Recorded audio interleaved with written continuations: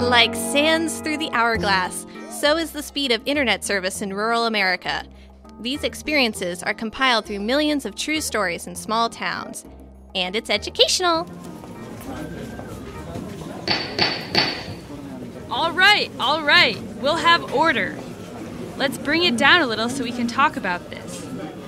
On the agenda today, Mr. Clark Kagi is going to do a short presentation on CenturyLink. For corn's sake, usually there isn't anyone at these town council meetings. Now, all of a sudden, the whole town shows up to talk about internet access? Since you're on the city council, you should know how bad this is. We've all been talking, and we didn't know anyone else was having the same problems here in Villageville. Well, thank you, Deputy, but I live here too, and I understand that our provider isn't offering the kind of connectivity we need. Yeah. Yeah, that's right. They Uh-huh. suck. Affirmative. And as your town council, we've met with them and asked them to upgrade, and CenturyLink, You mean last century link? Ha! CenturyLink says their DSL's just fine. And no other providers will come here. We're stuck with what we have. Oh, come on, come on. Did you have something to say, Emily? Step up to the podium, please. Yes, Emily, step up. Counselor, I'm an entrepreneur, and many of the people here are clients of mine. I work with farmers in rural communities like Villageville using technology to help them increase their crop yields. Yes, you've worked with my dad at his farm. That's right, and I'd like to work with other people in the community, but without high quality connectivity, it's almost impossible. It's the same for many other people I speak with who would like to start their own businesses, but but they can't. In order to do that, they have to move to the city. Yeah, yeah, stupid city. Yeah, Connie, listen to that gal. She knows what she's talking about. All right, all right. We've been doing some research, and Villageville can build its own fiber network. Now just hold on, Dave. There's a bill at the state legislature that's in committee that would make what you propose illegal. What? Who do those jerks think they are? We can decide for ourselves what to do with our own money. We just want the internet. Order! Order! Come on, people! When I heard that there would be a big crowd at the meeting tonight, I asked Mr. Clark Kagi, an attorney at CenturyLink, to come to the meeting to explain the bill to us. Mr. Kagi, you have the floor. Hello, wonderful people of Villageville. How are you all tonight? So happy to be here to tell you how this new bill, written by yours truly, is going to protect you taxpayers from all those nasty government owned internet boondoggles. Um, actually, this bill is like all the others that you lobbyists try to push through to prevent competition, so we're stuck with your crummy service.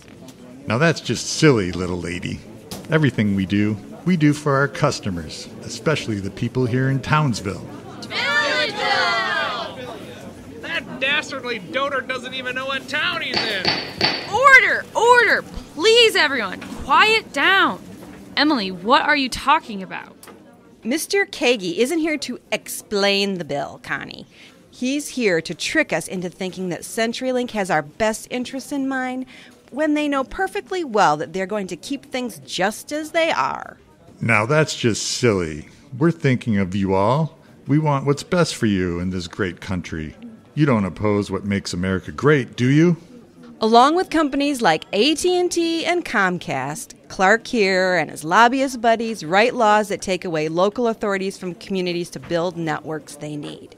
They pretend to be solving a problem, but the truth is that most communities that have built their own networks are very happy they did it.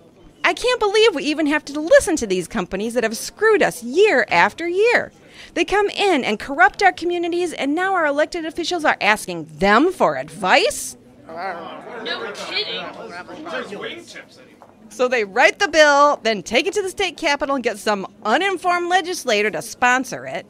A lobbyist's job is to convince a lawmaker to pass bills, and the lobbyists outnumber the legislators, so it isn't hard to spread misinformation around at the capitol. Around 20 or so states have these laws already. You mean these are state laws that tell us how to spend our own money? That's right. Well, I don't think I like that. We're helping to protect you. But we're still waiting for you to improve internet access here. You've been telling Villageville for years that CenturyLink would be marketing services better someday. Yeah, when? We want it now. I have, a son I have a son who lives in Missouri, and the electric co-op offers internet access. Good service too, and it's cheap. What's that, Gary? Yep, my son gets electricity and broadband access from Co-Mo Electric. Fiber to the home, he gets 100 megabits for $50 a month, and they don't even raise his bill every time he turns around. Just give him good service and they don't try to bankrupt him. Oh, now. How can an electric provider bring you all internet access? It is very complicated, I assure you. I think that's something we need to investigate. Who wants to contact Power People's Cooperative and ask them about broadband? We're all members. What? No, wait a minute. Thank you, Mr. Kagi. You can leave now. By the way, what committee did you say is hearing that bill next? The House Utilities Committee next Wednesday. Why? Who wants to go to a committee meeting? Hey, I'll go. Oh, they have corn dogs! Will the people of Villageville stop the bad bill at the state capitol? Will their electric cooperatives start offering broadband service? Will CenturyLink's someday ever arrive? Find out in the next episode of From Crops to Co ops Small Towns Want Better Internet Access.